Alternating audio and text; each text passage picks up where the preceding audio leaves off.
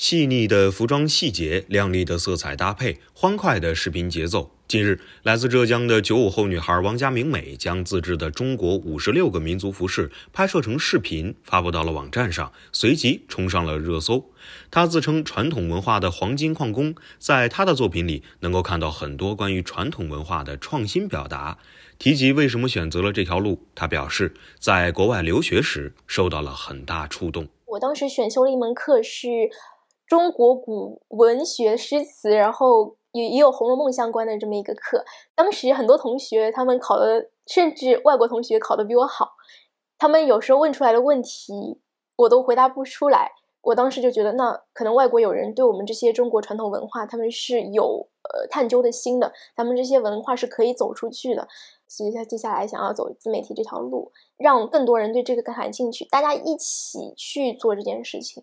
怀着这样的想法，回国之后，王家明美在网站上注册了账号，取名“造下中野堂”，并开始了自己的视频创作。出于对汉服的喜爱，他想到了介绍各民族传统服饰和传播民族文化的主意。然而，一些传统制作技艺的流失以及可考材料的匮乏，使他陷入了创作的窘境。原本计划一个月的制作周期，王家明美却做了整整两年。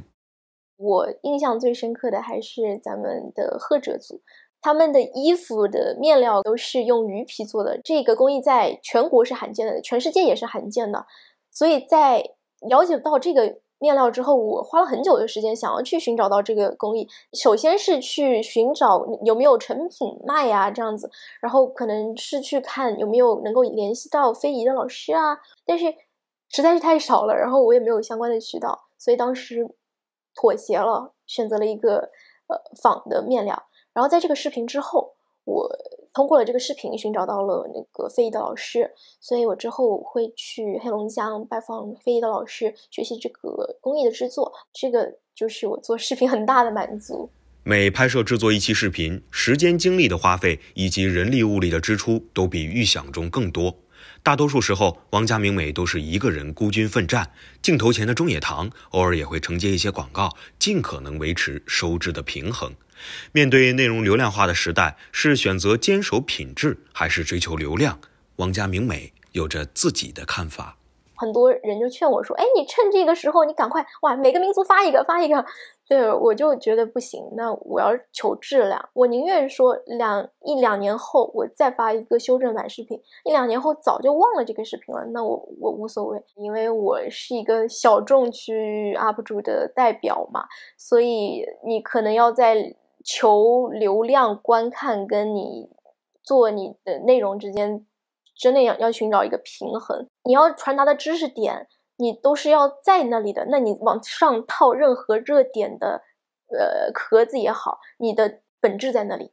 所以，我这是我现在这这个阶段我认为的东西。那我还是觉得要保持你自己原有的东西在。如今的王家明美有着近二十万的粉丝，发布视频的观看量经常能突破五位数。聚会时，王家明美有时会被朋友们喊作网红。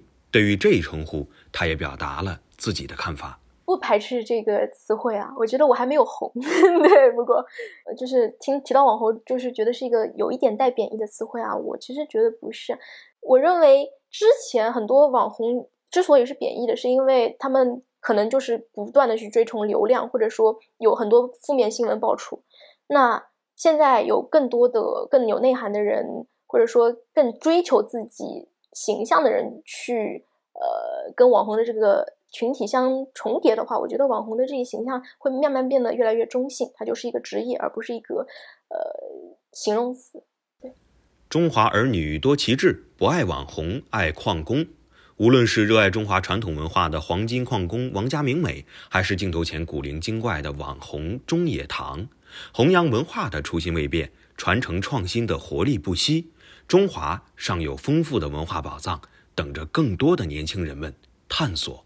和发掘。我现在作为一个矿工吧，我就感觉咱们这个宝库吧，我就挖了浅浅的一层。我最快乐的事情是，身边有了很多一个一个加入我的矿工团队们，并且咱们这些矿工团队们把这些黄金手捧了出来，让更多的人发现了，把它捧到了世界的那个呃观众的人的面前，这是我最快乐的事情。